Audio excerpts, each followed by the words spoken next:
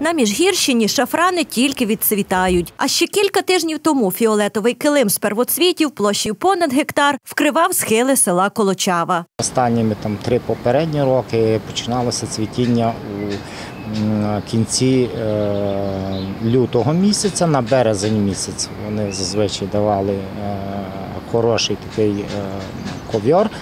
От, а в цьому році перший шафран вийшов 14 березня, ну і різке потепління, те, що вони собі е, пішов сніг, а потім різке потепління, і вони протрималися буквально тиждень. Ну, Вони зазвичай цвітуть десь півтори-два тижні, так що можна спостерігати е, гарну картину. Шафрани це квіти, вони красиві, але вони занесені червону книгу. Їх люди не бережуть і топчуть. Я бачив, що продають люди шафрани. Люди їх топчуть, зривають, а це погано. Та були залишені до Червоної книги України. Справді, з 15 видів шафранів, які ростуть на Україні, 8 занесені до червоної книги. З них роблять спеції. Це саме дорога спеція.